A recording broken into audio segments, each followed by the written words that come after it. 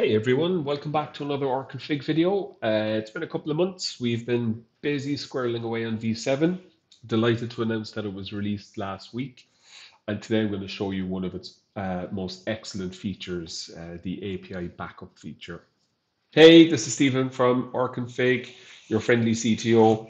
Uh, so to all my network engineer and architect friends and ops and managers and directors or whomever you are, introducing rConfig V7 today uh, its first uh, show off, I guess, in terms of new features. And what we're going to do today is we're going to back up the Meraki Cloud Platform via an API through the rConfig interface. Can't wait to show you this. Okay, so very simply, this is the rConfig v7 interface here. I also have a sandbox for the Meraki platform uh, online and, and working with a bunch of devices and different things. We'll have a look at that in a few minutes. And I also have the Meraki uh, API documentation open here, which I'm going to touch on shortly. So let's get logged in. Um, brand new dashboard, brand new interface, all kind of cool bells and whistles. I'm not going to go through them all today, but uh, let's show you the new API collections feature. Let's get straight into it.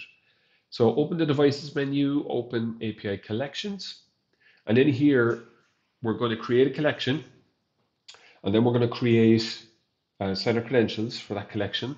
And then we're going to create endpoints within that collection. And you'll see what I mean now in just a moment. So let's create a new API collection. Let's call it, uh, let's call it Meraki Enterprise Sandbox. Doesn't really matter for demo purposes. Now the base URL, this matters. Okay, so for Meraki, the base URL is this. Okay, you can get this from the documentation in here. And so what happens then is we create endpoints later and all of the endpoints hook back or anchor back on this base URL. Okay, so this is the collection part of the feature. The uh, authentication type is bearer, uh, which you can see here in the authentication authorization section of the, the Meraki documentation. So we see we must pass a header with authorization and bearer. So rConfig does all this under the hood for you, right? So, but uh, so set that and we configure the credentials uh, in a short moment.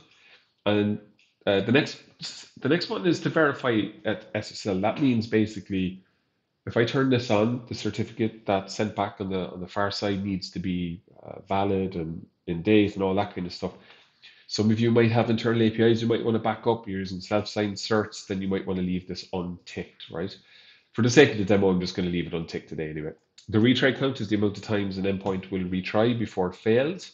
And the retry delay, I'm just going to set it to one for the demo. And the retry delay is the amount of time between uh, retries. So you could set it to 1000 milliseconds, for example, or 5000 milliseconds, or whatever you need it to be. Uh, vendor, Meraki, these are kind of standard um, rConfig uh, options. I'm just going to select routers, maybe routers again. That doesn't really matter for the purpose of this demo. And that is our collection created. The next thing we're going to do is create credentials, and then after that, we're going to create endpoints. Okay, cool. Now that we have our collection created, let's go ahead and add a set of credentials. Let's edit this guy. And in here, feels very much like uh, our standard rConfig device view uh, with a few notable uh, differences. Uh, the first is we have a credentials button up here. We have an endpoints button. But we have the well-known rConfig kind of features or functions, which is kind of copy a debug. That'll copy a debug command to your clipboard so you can run that in the CLI. Uh, view configs, download now, that kind of stuff, right? What we want to do is add a set of credentials.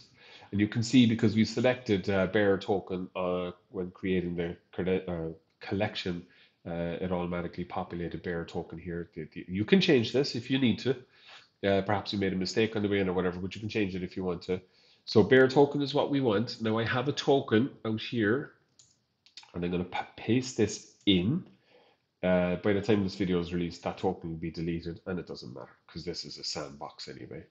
Uh, leave the prefix unless you know to change it. Some API providers do use a different prefix on bearer tokens. Don't know why, they just do, right? So that's why you have an option here to change it. In this case, we're going to leave it, okay? Uh, you're going to save this. So the credentials are saved, so that's fine. And we actually have a test option here, so you can just you know put in an endpoint and test it. Now, if I test right now, it's going to tell us put in an endpoint. So what we're going to do is we are going to locate an endpoint in the API documentation.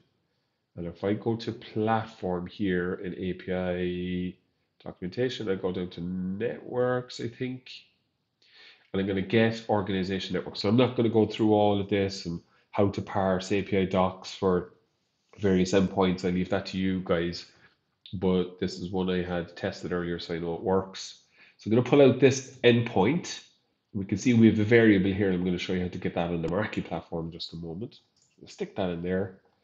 And if I go back to my Meraki dashboard, I've got my right down here at the end. Oh my God, it's the smallest thing, is the org ID. Okay, now different platforms going to have this stuff all set up in different ways. So uh, you're going to have to figure that one out. So for now, I'm going to replace the variable with the org ID, copy that because I'm going to reuse it in a moment.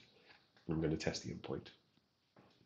So we can see we got a status 200, which is a successful uh, response. And we can see in our body section down here, we have all of our data sent back in a kind of a fairly ugly stringified format. But that's okay. It's just a test, right? We can get our headers and if there is any issues, let's just say we put in network, right, and test the endpoint, we probably get a 404. Perfect.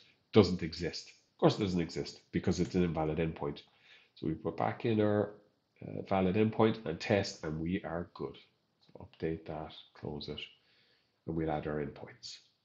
Last section of the video, let's add endpoints. Now, with the collections, you can add as many endpoints as you want. It's infinite. Uh, you know, you have to determine, I guess, what endpoints you need to back up from a configuration and or data perspective, right? I mean, this doesn't just apply to cloud and SD-WAN providers. You can go go way into all sorts of different API uh, collections and endpoints and different things to back up whatever you need, right? But let's stick with Meraki for now.